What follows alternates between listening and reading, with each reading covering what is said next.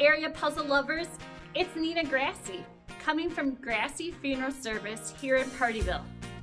I can tell you, I cannot wait until this coming weekend to continue building the world's largest puzzle.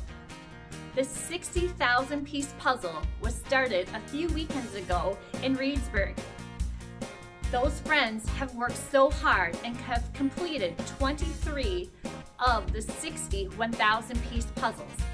So 38% of the puzzle has been completed. Wow! Thank you so much, Reedsburg and the surrounding communities. You may have seen it on TV. Two of the Madison TV stations came up to do stories about it. One was before, and when they shared it, people from Madison came up to help us. One was on Sunday while we are building the puzzle, and you know what? They shared that video. Yes, Monday morning I got a text message from someone in Milwaukee saying they saw me on TV. Later in the day, I heard it was shared in Pennsylvania. My cousins in Iowa saw the video, including Elliot's family up in Door County had seen the video. So it's not a secret. They know we're making this puzzle.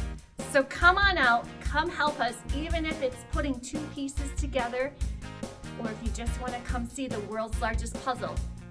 It'll be 29 feet long and 8 feet tall. It will take up a large portion of the front of our chapel. We can't wait to see the progress we make next weekend. The 23 completed puzzles have made it from Reedsburg to Pardeeville. They were carefully boxed so that no puzzle was destroyed. They will be laid out in the chapel. The tissue boxes mark how large the puzzle will be. Our meal room here in Pardeeville will be all set up waiting for you when you come here on Friday night. Puzzles, puzzles, and more puzzles. Smiles, laughter, and oh so much fun. Did you know there's more than one way to sort a puzzle? The challenge begins because many of the puzzles do not have straight edges. This was the first puzzle completed Friday night.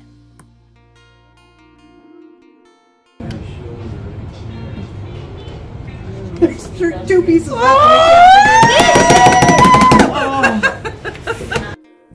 Celebrations occurred after each puzzle was completed and laid out in the chapel. Even the funeral directors assisted in making the puzzles. They completed their puzzle on Sunday. This puzzle was completed by numerous people over the weekend. He liked to work by himself, and he liked to finish puzzles. Fun all around. 1,000 piece dumped to a completed puzzle. It's getting bigger. So, what did you think?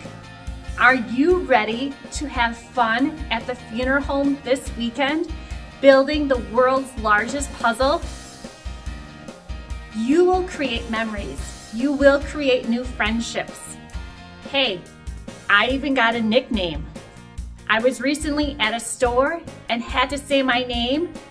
The lady in front of me turns around and said, Hey, you're the crazy puzzle lady.